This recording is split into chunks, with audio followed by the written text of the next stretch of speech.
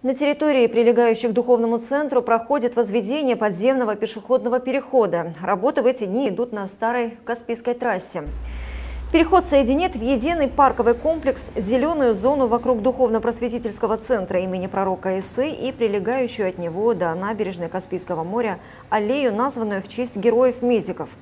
Общая протяженность аллеи составит 1300 метров, а площадь – 9 гектаров. На трассе сейчас идут активные работы для проезжающих автомобилей. Специально подготовлена объездная дорога.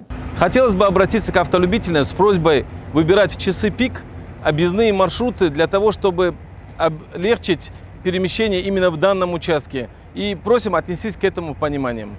Для возведения подземного перехода используется вся необходимая современная техника и людские ресурсы. Перед строителями поставлена задача уложиться в максимально короткие сроки и без ущерба для качества работ. Впрочем, сами участники дорожного движения относятся к ситуации с пониманием.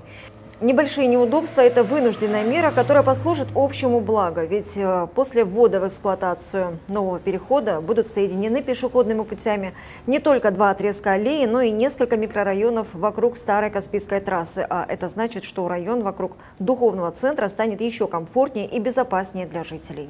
Вечером немножко задержка идет. Так как асфальт уложили здесь, таких проблем больших не вижу. Но ну, вы готовы потерпеть, пока вот это все, ну, построят этот пешеходный переход? Ну, конечно, готовы ради будущего блага, людям гулять в парке, конечно. Я готов, я готов пойти на уступки, пойти навстречу людям. Это для нас делается, для наших детей. Поэтому я желаю каждому дагестанцу иметь э, максимальное терпение, пока вот эти э, моменты закончились.